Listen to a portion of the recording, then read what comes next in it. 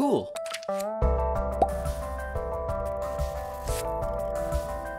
Hey folks, Devin here with Make Anything and I've got a really quick video for you guys today but useful for anyone who is 3D printing.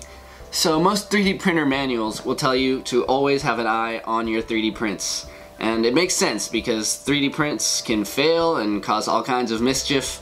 Printers have even been known to catch on fire. So yeah, there's a reason that they say that, but if you're printing anything substantial, it can end up taking many hours, maybe even days. So sitting in front of your printer for four hours to watch a little Pokemon get printed out isn't exactly the best way to spend your day. So today I'm going to show you my technique for remote viewing my prints so that I can be upstairs on my computer and have a little window showing me what's happening down here on my printer. It's actually super simple. All I'm going to use is my old smartphone. It's got a cracked screen and I've had to glue the charger in to keep it charging. But all I really care about is that it has a working camera. And all you have to do is download an app for your phone that turns it into a webcam. There are tons of apps like these for both Apple and Android, but I'm on Android, so I'm going to show you what I use. So I'm going to open up the Google Play Store, and you're going to look for IP Webcam. And there are actually a few apps by the same name, but I've been using this first free one right here by Pavel Khlebovich. And just go ahead and download that. So yeah, I'll download the video codec or whatever that makes it easy to record. And just like that, I'm now recording you guys. And as you can see, there is this IP number listed at the bottom, um, this URL. And all you have to do is go on your computer and enter that URL, and you'll be able to see exactly what is being shown on this web camera.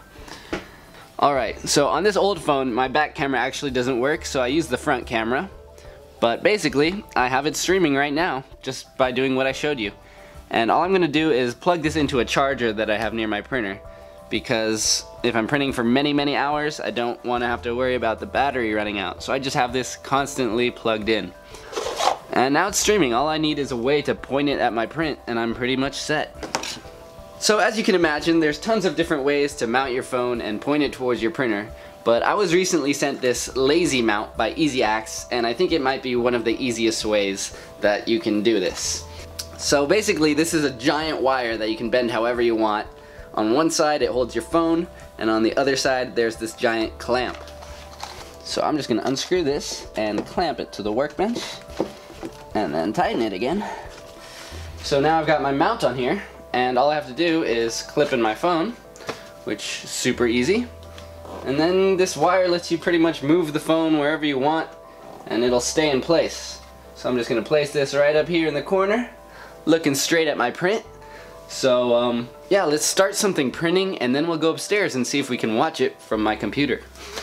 Alright, so now I'm upstairs in my room and I'm to go on my browser and type in that same address that was on the app. So that series of numbers.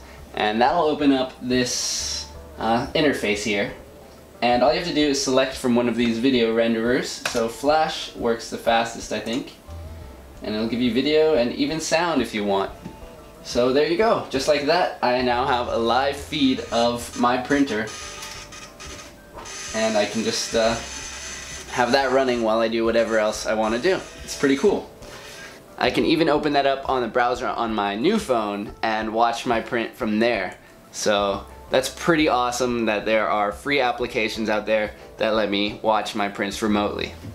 Alright guys, that's it for this episode. If you own a 3D printer, I hope this was really useful because I've gotten a lot of use out of remote viewing my prints. It's helped me catch things that were going wrong or just let me see when my prints are done without me actually having to come down and check on my prints. So it saves time, it saves filament, it's super awesome. So IP Webcam is the app, I'll put a link for that in the description, and I'll also put a link for this lazy mount in the description because it's super awesome for being able to hold your phone however you want. I'll probably use it to hold my GoPro and get some really cool angles for my time-lapse shots. And I also just use it to hold my phone when I'm filming other things with my phone. So it's a pretty useful thing overall. Anyways, that's it for this episode. Hope I'll see you next time. I'm Devin. This has been Make Anything. Stay inspired.